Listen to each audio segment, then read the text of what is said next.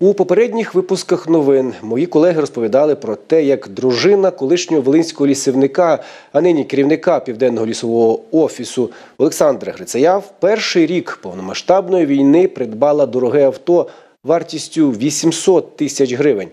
Цікаво, що відповідно до декларації ані він, ані його дружина не заробляють в рік стільки, аби ось так одним махом оплатити цю покупку і ще щоб на хліб лишилось. Тож виникло логічне питання: звідки гроші у людей, які працюють на державних роботах на таке розкішне авто? Відповідь не забарилась. Чотири земельні ділянки, два будинки, три вантажівки, п'ять напівпричепів, два легкових авто і один Харлі Девідсон. Як то кажуть, чим багаті, тим і раді. Такі речі є в декларації нинішнього директора південного лісового офісу ДП Ліси України Олександра Грицая. Так званий автопарк переважно придбаний в період з 2016 по 2022 роки. Цікаво, що в 2016-му Олександр Грицай був призначений на посаду директора Камінь Каширськ Агроліс. Пізніше вже перевівся до Миколаївського лісництва, а далі до південного офісу. А тим часом правоохоронці відкрили кримінальне провадження, яке вже в суді, де розгрібають справу про ймовірну розтрату 15 мільйонів гривень колишнім керівництвом Камінь Каширськ Агролісу в період 2019-2021 років.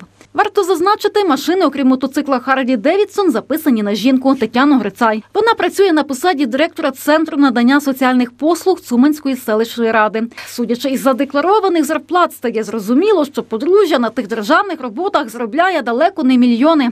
Але коли в очі потрапляє майно, а особливо його вартість. Ніби й такого й не скажеш. Як же вдалося сім'ї, яка за 2022 рік на двох зробила 452 тисячі гривень, придбати авто вартістю 800 тисяч?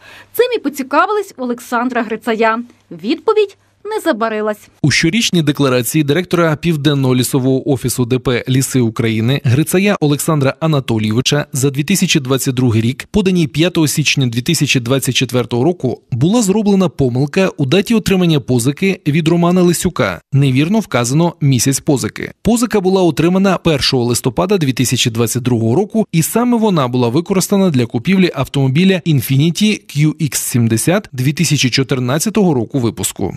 До слова, за дивним співпадінням виправлена декларація з'явилась на сайті 1 лютого, одразу за кілька годин після нашого дзвінка до південного лісового офісу. Вже у виправленій декларації вказано, що 500 тисяч гривень пан Грицай позичив не 1 грудня, а 1 листопада, тобто за 10 днів до набуття жінкою права власності на інфініті. Схоже, без дороговартісної машини родина Олександра Грицая, в якої вже були як мінімум один легковик і мотоцикл, настільки не могла обійтись, що довелося влазити в позички.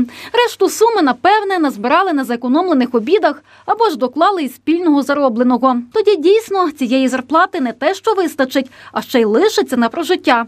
Щоправда, як для сім'ї з чотирьох осіб. Дуже скромне.